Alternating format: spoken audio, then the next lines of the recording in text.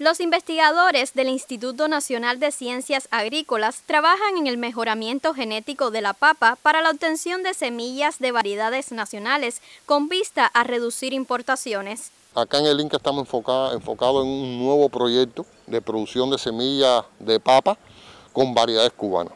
El programa de mejoramiento genético ha generado ya más de 15 variedades y en, este, en este proyecto de semilla queremos introducir cuatro variedades que fueron variedades que tuvieron buen comportamiento y estabilidad. Además de la papa, el Inca desarrolla otras variedades de plantas adaptables a las condiciones ambientales y resistentes a las plagas.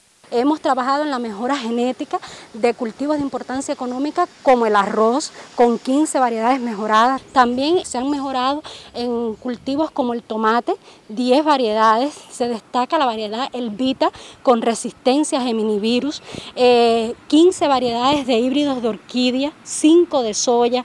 Eh, se han obtenido dos variedades mejoradas genéticamente de flor de Jamaica, una de frijol, o sea, eh, toda la parte de mejoramiento genético ha sido para eh, introducir al país variedades tolerantes.